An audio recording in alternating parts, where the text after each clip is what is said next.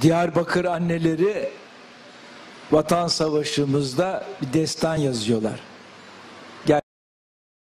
Gerçekten e, hepimizi ateşleyen, yalnız Türk kadınını, Türkiye kadını değil, e, bütün milletimizi ateşleyen e, kahramanca bir tavır aldılar. Ve olayı böyle yalnız kendi çocuklarını e, PKK'dan kurtarmak değil, onun ötesinde Türkiye'nin vatan savaşında kararlılık, namus, e, o mevzileri tutan büyük iş yaptılar. Ve ben de onlarla sık sık telefonla konuşuyorum. Hakikaten hepimiz onlara hayranlık duyuyoruz.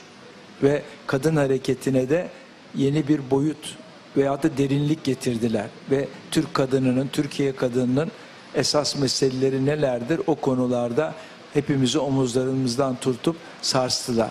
Yani e, diyelim Beyoğlu'ndaki şu, efendim Kordon'daki kadının sorunlarıyla Diyarbakır'daki, Van'daki, Muğla'daki, Kırklareli'ndeki kadının, üreticinin, köylünün, işçinin sorunları arasındaki büyük farkı e, Diyarbakır annelerinin mücadelesinde de gördük. O bakımdan e, onlar bizim öğretmenimiz oldular.